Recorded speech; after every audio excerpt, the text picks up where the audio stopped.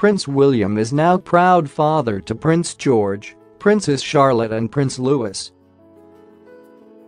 However, as a youngster himself, he got into some scrapes. His parents Prince Charles and Princess Diana even gave the boisterous William the nickname Basher Wills as a toddler. Katie Nicholl, in her 2010 book William and Harry, takes a look at palace life behind the scenes for the young princes. Ms. Nicholl narrated how the 10-year-old Prince William was injured in a freak playground accident in June 1991. She explained, William had been playing a friend on the school's putting green when he was accidentally struck on the head with a golf club.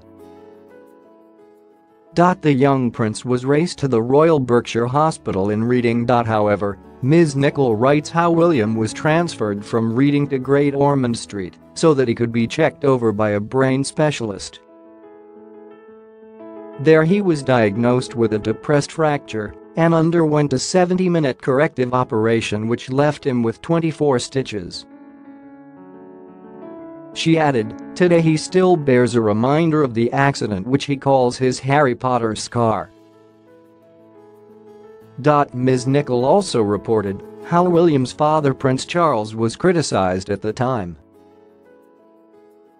Despite waiting with Diana at the hospital, he sped off to the Royal Opera House for an official engagement when he was informed that the operation had been successful and William was fine.